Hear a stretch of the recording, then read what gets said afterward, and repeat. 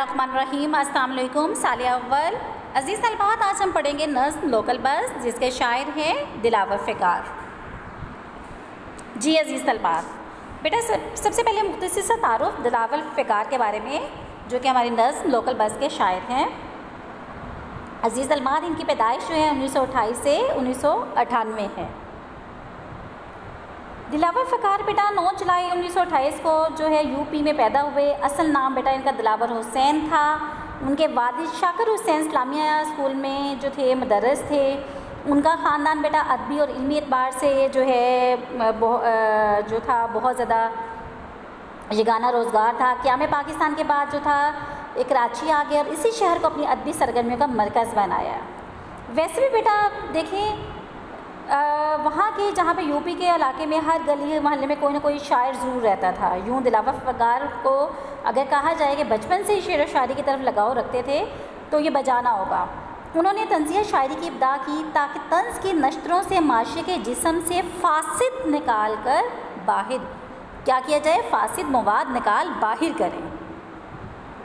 हादसे, सतन ज़रीफ़ियाँ, शामत अमाल, आदाब अर्ज़, उंगलियाँ फ़गार, अपनी और मतला अर्ज़ है, मशहूर इनके मजमू कलाम हैं। अज़ीज़ अल्बाज जो ज़ेर बताल नज़म इनके मजमू मतल अर्ज़ है, से ली गई है। जी अज़ीज़ अलबात क्या कहा मैंने कि ज़ेर मताल नज़म जो है, इनके मजमू कौन से ली गई है? मतल अर्ज़ से ली गई है। अब अगर इनकी नज़म जो है, उसका देखें, उनवान ही क्या है, लोकल बस? अगर पहला बंद अगर आप देखते हैं तो बेटा पहले बंद में क्या कह रहे हैं कि बस में लटक रहा था कोई हार की तरह, कोई पड़ा था साया दीवार की तरह। सहमा हुआ था कोई गुनहगार की तरह, कोई फंसा था मुर्गे गिरफ़्तार की तरह। महरूम हो गया था कोई एक पाँव से, जूता बदल गया था किसी का खड़ाव से। देखिए, साया दीवार दीवार का साया होता है बेटा। सहमा हुआ था खौफ खाया हुआ गुनागार कसूरवार मुर्गे गिरफ़्तार होता है। वो कितना जो पकड़ लिया गया है, महरूम खाली हो जहाँ खड़ा होता है, लकड़ी का जूता। अज़ीज़ तलबा देखें यहाँ पे वो कह रहे हैं कि दिलावर फ़गार अगर हम कहा जाए कि मज़ाया शायर थे ना, जिसने मज़ा और तंज के नशरों से माशे के जिसम से क्या किया था, फाजिल मादे निकाल पार करने की कोशिश की है। दिलावर फ़गार ने बेटा रोज़मर्रा के वाक़ात में मज़ा का रंग पैदा किया और हमारे बास मामला पर ज़बरदस्त चोट की है। ये बंद कराची में चलने वाली लोकल बस की सूरत हाल की अक्सी करती है और अगर देखा जाए, ना सिर्फ़ कराची बल्कि पूरे हर शहर में एक लोकल बस जो चल रही है, उसकी अक्सी कर रही है। कहते हैं कि बस में बेपना रश था। मुसाफिर बुरी तरह क्या हुए थे? ठुंसे हुए थे ना? कोई मुसाफिर तो बस के दरवाजे और कोई पायदान की जानब यूँ लटका हुआ था जैसे किसी खोंटी पर हार लटकाया हुआ हो। ठीक है? आप देखिए, उसके बाद क्या कह रहे हैं वो? अगले अगर उसमें शेर में देखें कोई ऐसा था जो दीवार की साई की तरफ़ चिपका पड़ा हुआ था? कोई मुसाफिर ऐसा था जो बस के एक तरफ़ दुबका बैठा था, जैसे कोई गुनागार दूसरों की नज़रों से बच के और खौफसदा होकर किसी कोने में छुप जाता है? और कोई बेचारा ऐसा था जो किसी कैदी परिंदे की तरह किसी पिंजरे में बंद हुआ बैठा है? गैर से सजीज बात क्या है कि मुसाफिर बुरी तरह बस में ढूंढ से जा चुके थे? घुटन, हब्स तो एक तरफ़ और ओवरलोडिंग की वजह से कोई मुसाफिर तो अपने पाँव का एक जूता गंवा बैठा था। और किसी बेचारे को अपने एक जूते के बदले में किसी एक ही खड़ाऊ हथे चढ़ गई थी। गोया उसका जूता खड़ाऊ से बदल गया था। अज़ीज़ अलबाद दिलावर फ़गार ने ओवरलोड बस में जिस हफा तफरी की तस्वीर कशी खींची है वह हकीकत के एन मुताबिक है। हजूम के इस खूबसूरत जो है अक्सी या शे में नामुमकिन है। अल्फाज क्या थे उनके? सादा थे और आम फेम अल्फाज ने वो एक तंज कर रहे हैं। अगर किसी और शायर ने इसके बारे में क्या खूब कहा है कि थी ओवरलोड बस की हालत ज़ार, मुसाफिर बिलबिलाते जा रहे थे। लड़ाई खींचा तानी अफरा तफरी सफ़र के दुख उठाते जा रहे थे। जैसी सल बात बंद नंबर दो क्या है? गाँव में, गाड़ी में एक शोर था, कंडक्टर आगे चल। कह दे खुदा के वास्ते हाँ ठीक है, डबल।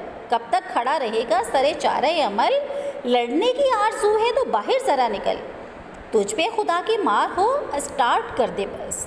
दो पैसे और ले ले जो दौलत की है। दौलत की है हवस जी अज़ीज़ अलबात यहाँ पे देखिए, अब यहाँ पे शायर जो है, पहले में क्या बताया कि किस तरह से बस में, किस तरह से रश होता है। और अब कह रहे हैं कि रश की वजह से जब इतनी ओवरलोड बस हो जाती है तो उसके बाद जो उसमें मुसाफिर जो सवार होते हैं, वो किस तरह से जो है कंडक्टर से बिहेव कर रहे हैं।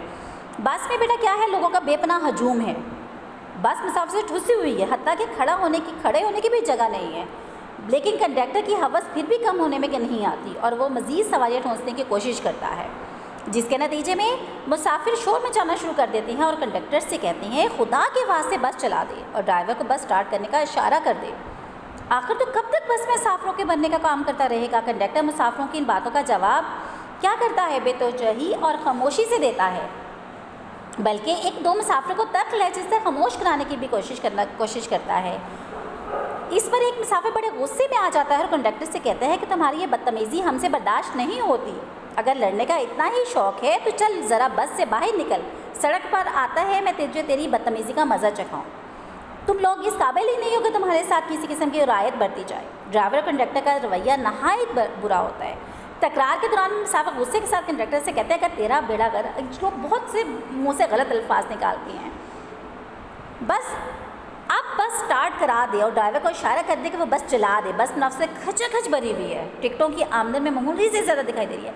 लेकिन अगर इसके बावजूद भी ये दौलत समेटने की हवस कम नहीं हो रही तो फ़ी मुसाफिर दो पैसे दो या दो दो पैसे मज़ीद ले ले। लेकिन कम से कम बस तो चला ले ताकि हर मुसाफिर बर वक्त अपनी मंजिल मकसूद तक पहुँच जाए। जैसे सलबा तीसरा बंद है, कंडक्टर अब ये कहता था, वो बस चलाए क्यों? जो बस में आ गया है, करे हाय हाय क्यों? जिसको हो जहाँ अज़ीज़, मेरी बस में आए क्यों? ऐसे ही गुल बदन थे तो पैसे बचाए क्यों? ठानी है दिल में, अब ना दबेंगे किसी से हम? तंग आ गए हैं रोज़ की कंडक्टरी से हम। जी बात आखिरी बंद है इसका। अब यहाँ पे देखिए, गुल बदन का मतलब होता है फूलों जैसे बदन वाला नाजुक मिजाज होना। अब यहाँ जो है, यहाँ पे शायद क्या कह रहे हैं कि बस मुसाफिर से जगह भरी हुई थी, ठीक है? और कंडक्टर बस चलाने का नाम नहीं ले रहा था। दूसरा मुसाफर हब्स और घुटन से तंग आकर शोर मचा रहे थे। कोई ड्राइवर से मजामत करता, कोई कंडक्टर से करता, अजब कह रहे हैं, तकरार हो रही थी। बाज़ मुसाफर ऐसे थे जो कंडक्टर से हाथा पाई पर उतर आए थे और बाज़ मरने मारने पर आमादा हो गए थे, मगर कंडक्टर अपनी ज़िद पर अड़ा हुआ था। जैसे कि बंद में भी शायद कहा है ना, कि वो अपनी मर्ज़ी से बस चलाएगा। ड्राइवर से कुछ मुसाफिर मुखातिब थे, मगर ड्राइवर दस से मस्त नहीं हो रहा था। उसका सवाल साफ़ जवाब ये था कि मैं कंडक्टर के कहे बगैर बस नहीं चला सकता। इस हफ़्ता तफरी में अज़ीज़ सलबात क्या हुआ? तू मैं मैं हुई। जब लोग ज़्यादा तल्ख गए, कंडक्टर कहने लगा, वो किस लिए बस चलाए? जानते नहीं हो कि पेट्रोल कितना महँगा हो गया है? जब रात को मालिक के आगे सारे दिन का हिसाब रखा जाता है तो वो बड़बड़ाता है कि तुम तो बस का पेट्रोल भी पूरा नहीं करते। आमदन ना होगी तो कारोबार का क्या फ़ायदा? लिहाजा मैं तो मज़ीद ओवरलोडिंग किए बगैर बस चलाने का बस नहीं चला सकता। ये लोकल बस है इस बस में बैठकर बैठकर ही जो है आप क्या कर सकते हैं? हाय हाय करने का क्या फ़ायदा? वो कहते हैं जब आप इसमें बैठ ही गए हो तो फिर आप हाय हाय क्यों कर रहे हो? सफ़र तो आराम से, अब कहते हैं सफ़र तो आराम से करना चाहिए ना। वो मुसाफरों से मज़ीद कहने लगा, जिसको अपनी जान का इतना ही ख्याल है तो वो बेशक मेरी बस में ना बैठे, बच्चे मुझे ऐसे मुसाफिर कोई ज़रूरत नहीं है, जो मेरी ज़िंदगी को क्या कर दे, अजाब में डाल दे। सारा दिन बहस तकरार करते हुए दिमाग पागलपन तक पहुँच जाता है। अगर ऐसी नाजुक मजाजी है तो मेरी बस में बैठकर पैसे बचाने की क्या ज़रूरत है तुम्हें? अपनी कार ले लेते, कोई रक्षा या टैक्सी ले लेते, आम बस में सफ़र करने के से तो ऐसी परेशानियों का सामना करना पड़ता है। ये नहीं हो सकता कि सफ़र बस में क्या जाए। ख्वाब आप क्या कहते हैं अब अगर तुम्हें ऐसा ही था, देखिए इसमें शेर में भी ऐसे है ना कि वो क्या कंडक्टर उसको कह रहा है, ऐसे ही गुल बदन दिए तो फिर इसमें तुम सवार क्यों हुए हो ना? यानी नाजुक मजाज थे तो कुछ और सवारी का अहतमाम कर लेते। आखिरी शेर में कंडक्टर तंग आकर ये कहता है कि हमने तो दिल में पक्का इरादा कर लिया है कि अब किसी मुसाफर को खाते में ना लाएँगे, किसी मुसाफर से ना दबेंगे और ना किसी के क्या करेंगे, ताने बर्दाश्त करेंगे। सच ये है कि हम हर रोज़ की इस कंडक्टर से तंग आ चुके हैं, हमसे इस पेशे का कोई जो है, पेशे का काम नहीं हो सकता। बेटा, अगर देखा जाए तो दिलावर फ़कार के इस नज़म के आखिरी बंद में कंडक्टर के जज्बात की सही तर्जमानी की गई है। कंडक्टर का पेशा ही ऐसा है जिसे अमूमन पब्लिक डीलिंग रहती है।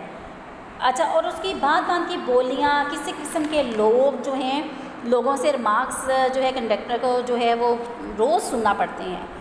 और वो लाचार होकर इस पेशे से जो है, क्या करना चाह रहा है? ताल्लुक़ मंतका करना चाह रहा है। यानी कोई इससे ख़त कत ताल्लुक़ करना चाह रहा है। जी जी सर बात ये आज हमारी अल्हम्दुलिल्लाह नज़म जो है, मुकम्मल हो गई है, लोकल बस। इसका जो है मुताल कीजिएगा। अच्छी तरह से, और इन नेक्स्ट अगले लेक्चर में हम अगली नज़म का करेंगे। अल्लाह ताला हम सबकी हिफाजत फरमाए।